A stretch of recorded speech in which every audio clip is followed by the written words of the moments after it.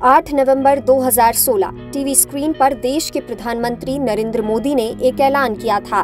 खबर थी कि देश में 500 और हज़ार रुपए के पुराने नोट अब लीगल टेंडर नहीं रहेंगे। डीमोनेटाइजेशन यानी नोटबंदी ने पूरे देश को हैरान कर दिया था। आरबीआई ने पुराने नोटों को बदलने के लिए कुछ दिनों का समय भी दिया था। अब अगर नोटबंदी के सात साल बाद कोई आपसे पुराने नोटों के बदले व्यापार करे तो लाजमी है, आप सोचेंगे ये कैसी धोखाधड़ी है भला। हालाँकि ऐसा सच में हुआ है। खबर उत्तर प्रदेश के बरेली से है, जहाँ भक्तों ने भगवान को ही चूना लगा दिया। दरअसल, श्यामतगंज के श्री साई श्याम मंदिर में कुछ भक्तों ने मंदिर की दानपेटी में 500 के पुराने नोट डाल दिए।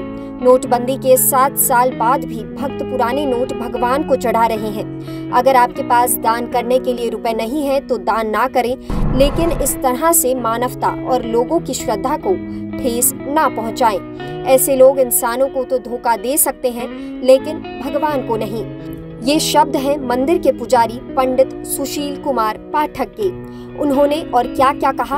आइए सुनते हैं। मैं एक ही बात कहूँगा कि इंसान को धोखा दिया जा सकता है भगवान को नहीं। एक अंधा व्यक्ति रोज मंदिर आता था तो रोज दर्शन करता था तो एक देखने वाले ने कहा कि भैया तुझे दिखता नहीं है तू मंदिर आके क्या करता है? तो बोले, मुझे ही तो नहीं दिखता, पर भगवान को तो सब कुछ दिखता है। तो डालने वालों ने सोचा यहाँ कोई देख नहीं रहा है, परंतु ईश्वर सब देख रहा है। ईश्वर को धोखा देना, यानी स्वयं को धोखा देना है। मंदिर के पुजारी सुशील कुमार पाठक कहते हैं कि ऐसा काम करके लोग पुण्य की जगह स्वयं को पाप के भागीदार बना रहे हैं।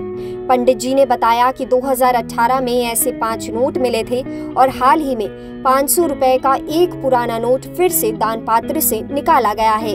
ऐसी हरकत करने वाले मनुष्य स्वयं को धोखा दे रहे हैं। ऐसे नोट जो चलन से बाहर हैं, जिन्हें 2016 में बंद कर दिया गया ऐसे पाँच नोट अक्टूबर 2018 में निकले और एक नोट अभी इसी हफ़्ते यानी शनिवार को जब हमने दान पात खोला तो उसमें 500 का वो नोट जो चलन से बाहर है अक्टूबर 2016 में हो गए थे वो नोट निकले हैं। ऐसे नोट डालना यानी ईश्वर को धोखा देना।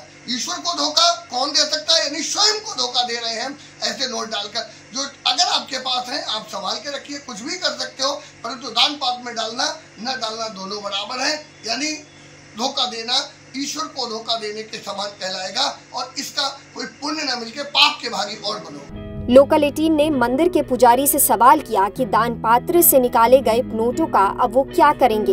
इस पर उन्होंने कहा कि सरकार के बैन करने के बाद भी लोग पुराने नोटों को आज भी भगवान के दान पात्र में डाल रहे हैं। इन नोटों को वो अपने पास संभाल कर रखेंगे और आने वाली पीढ़ी को दिखाएँगे कि इस तरह के नोट भी प्रचलन में चला करते थे। फ़िलहाल तो हमने इस सवाल के एक धरोहर के रूप में रखा है। क्योंकि ईश्वर के दान पात्र से मिले हैं। मैं कहीं आरबीआई को नहीं भेजूँगा। ये छह नोट मेरे पास सुरक्षित रखे हैं और इनको रखूँगा और आने वाली पीढ़ियों को दिखाऊँगा कि ये ऐसे नोट हुआ करते थे। श्यामतगंज के श्री साई श्याम मंदिर के पुजारी पंडित सुशील कुमार पाठक 500 के पुराने नोटों को संभाल कर और सुरक्षित रखेंगे, क्योंकि इन नोटों को भगवान के चरणों में अर्पित किया गया है।